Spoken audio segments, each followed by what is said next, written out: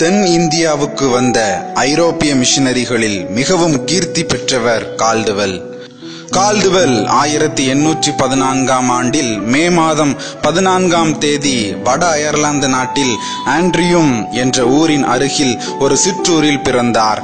அவருடைய தாய் தந்தையின் பூர்வீக நாடு ஸ்காட்லாந்து. வாழ்நாளின் பெரும் பாகத்தை நம் நாட்டிலேயே செலவிட்டு அதன்பால் அதிக பற்றுதல் உண்டானதால் தான் இந்திய நாட்டைச் சேர்ந்தவர் என்று இவர் கூற பிரியப்பட்டார். இவருடைய இளம் வயதில் பெற்றோர் கிளாஸ்கோ நகரம் சென்றனர். தமது பதினாறாம் வயது வரை அந்நகரத்தில் வாழ்க்கை நடத்தி ஆங்கில நூல்களை மிக்க ஆர்வத்துடன் கற்றார். பதினாறு வயதில் இவர் ஓவியத்தில் திறமை காட்டியதாக எண்ணி இவருடைய மூத்த சகோதரன் டப்ளினில் உள்ள ஓவிய கலை கல்லூரியில் இவரை சேர்த்தார். அந்நகரத்தில் இருந்த பிரசித்தி பெற்ற டாக்டர் உர்விச் பிரசங்கியாரின் தொடர்பும் அங்கிருந்த சில பக்தியுள்ள கிறிஸ்தவர்களின் நட்பும் கிடைத்தது. கிறிஸ்துவுக்காக உழைக்க வேண்டும் என்ற எண்ணம் அடிக்கடி அவர் மனதில் எழுந்தது. ஆனால் அவ்வெண்ணத்திற்கு மனதில் இடம் கொடுக்க பிரியமில்லாமல் ஓவியக் கலையில் மூழ்கி நாட்களை செலவிட்டார். கிறிஸ்தவ சமய பணியில் ஈடுபடுவதால் பல கஷ்டங்களுக்குட்பட வேண்டுமென பயந்தார். எனினும் ஒரு நாள் கடவுள் அவரிடம் நீ இவ்வாறு நாட்களை கழிப்பது சரியா?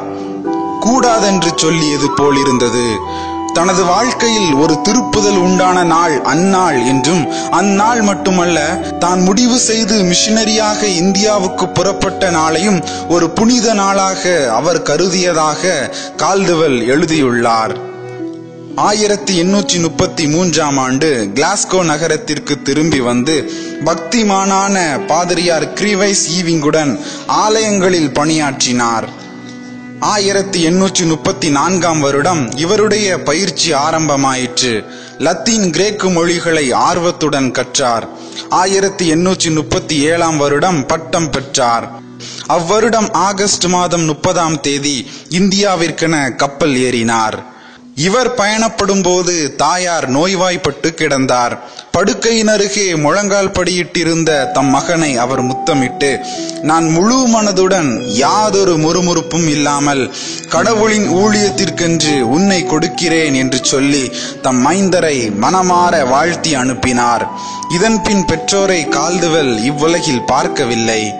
கப்பல் பிரயாணத்தில் பல இன்னல்கள் பட்டாலும் பிரயாண நாட்களை நல்வழியிலேயே செலவிட்டார். தெலுங்கும் சமஸ்கிருதமும் கற்ற சி. பி. பிரவுன் என்பவரும் அக்கப்பலில் ஒரு பிரயாணியாக இருந்தார். இவர் மூலம் சமஸ்கிருத மொழி கற்று தென்னாட்டு மக்களின் பழக்க வழக்கங்களையும் தெரிந்து கொண்டார். கால்டுவெல் ஆயிரத்தி எண்ணூற்றி முப்பத்தி எட்டாம் ஆண்டு ஜனவரி மாதம் எட்டாம் தேதி சென்னையை அடைந்தார். லண்டன் மிஷினரி சங்கத்தை சேர்ந்த ட்ரூ என்பவருடன் சில காலம் தங்கினார். சென்னையில் சுமார் மூன்றரை வருடங்கள் செலவிட்ட பின்னர் ஆயிரத்தி எண்ணூற்றி நாற்பத்தி ஓராம் வருடம் திருநெல்வேலி மாவட்டத்திற்கு புறப்பட்டார். சென்னையில் இருந்து புறப்பட்ட கால்துவல் பாண்டிச்சேரி தரங்கம்பாடி கும்பகோணம் தஞ்சாவூர் திருச்சிராப்பள்ளி முதலான இடங்களில் தங்கி நீலகிரியை அடைந்தார்.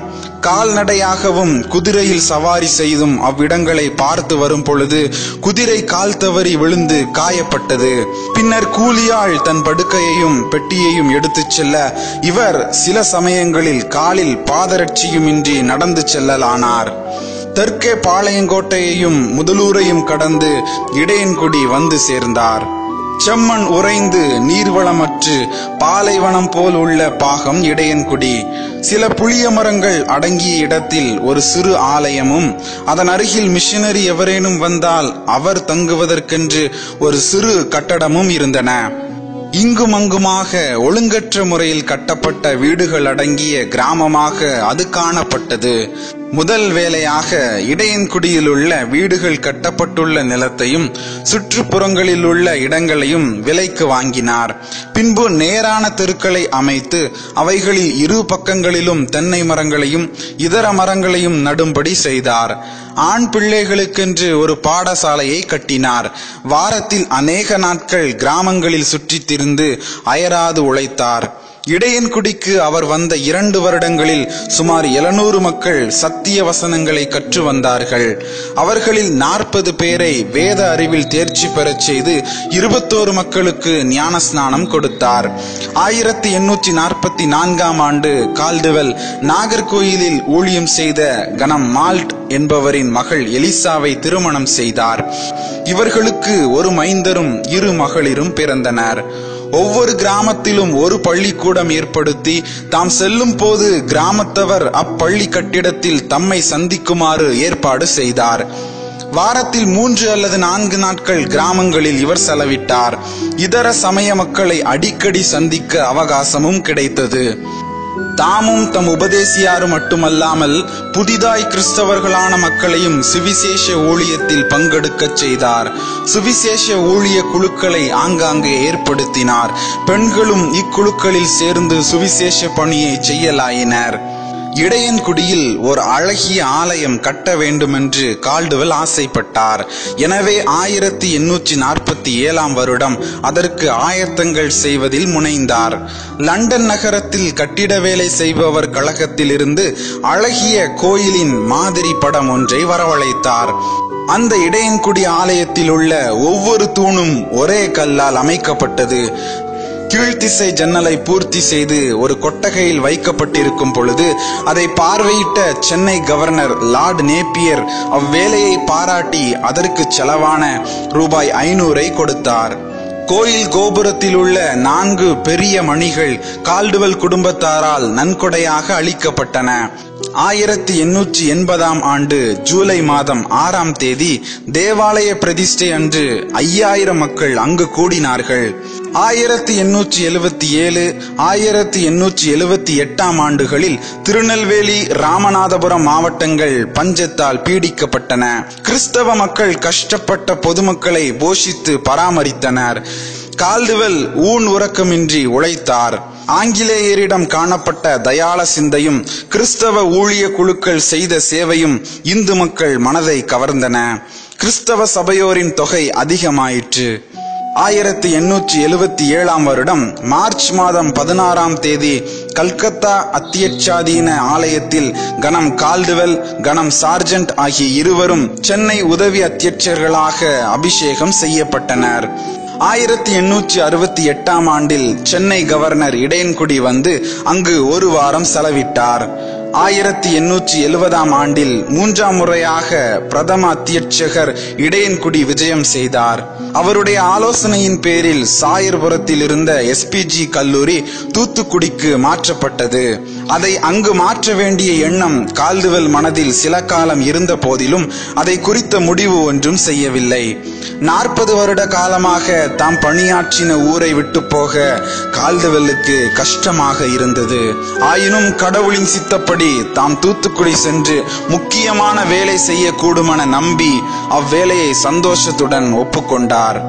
அக்கல்லூரியை சிறந்த முறையில் நடத்தி விருத்தி செய்தார். அதிக வெப்பநிலையில் உள்ள நாட்டில் ஐம்பத்தி மூன்று வருடங்கள் உழைத்த பின் இவரின் உடல் தளர்ந்தது.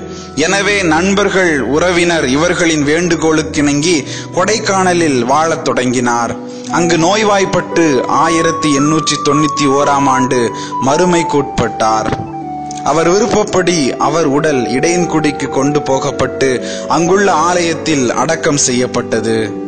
இவர் மூன்று முக்கியமான நூல்களை எழுதி வெளியிட்டார். திராவிட அல்லது தென்னிந்திய மொழிகளின் ஒப்பிலக்கண நூல் திருநெல்வேலி அரசியல் பொது சரித்திர வரலாறு திருநெல்வேலியில் எஸ்பிஜி மிஷன் வரலாறு இவைகளை தவிர ஆங்கிலத்தில் பத்து சிறு நூல்களையும் நான்கு பிரசங்கங்களையும் அச்சிட்டு வெளியிட்டார். தமிழில் எட்டு சிறு நூல்களை எழுதியுள்ளார். தமிழ் ஜப புத்தகம் மொழிபெயர்ப்பு கழகத்தின் அங்கத்தினராக சிறந்த பணியாற்றினார். சபையின் அஸ்திபாரம் என்ற அருமையான தமிழ் ஞானப்பாட்டை ஆங்கிலத்திலிருந்து மொழிபெயர்த்தார். தமிழ்நாட்டு மக்களுக்கே அம்மொழியின் மேன்மை புலப்படாதிருந்த பொழுது அதன் சிறப்பை எடுத்து காட்டியவர் கால்டுவெல் கிறிஸ்துவின் அடியானாக சுவிசேஷ நற்பணிக்காக அவர் ஆற்றிய பேருழைப்பு ஒவ்வொரு கிறிஸ்தவனுக்கும் எடுத்துக்காட்டாக விளங்குகிறது.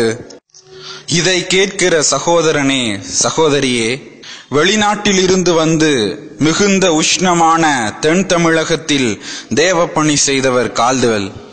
ஆண்டவருடைய வேலையை ஆண்டவர் காட்டும் இடத்தில் செய்வதற்கு இன்றும் அழைப்பு உன்னை நோக்கி கடந்து வருகிறது. உன் வசதி வாய்ப்புகளை விட்டு ஆண்டவர் காட்டும் இடத்திற்கு செல்ல நீ ஆயத்தமா? கிறிஸ்துவின் அன்பு உன்னை நெருக்கி ஏவவில்லையோ?